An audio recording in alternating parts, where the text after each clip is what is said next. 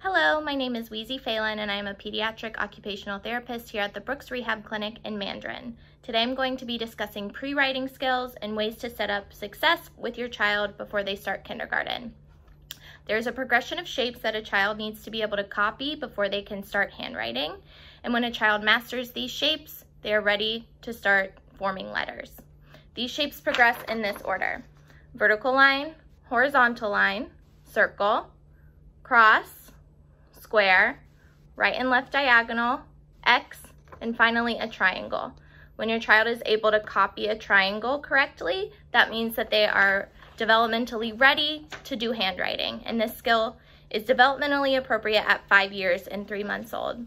So ways you can work on this at home is playing with Play-Doh, making the shapes out of Play-Doh, tracing them in a sensory bin. This, these are all things that are gonna help develop the hand muscles in order to hold a writing utensil and help develop their visual motor skills in order to be able to form these shapes as well as letters when the time is right.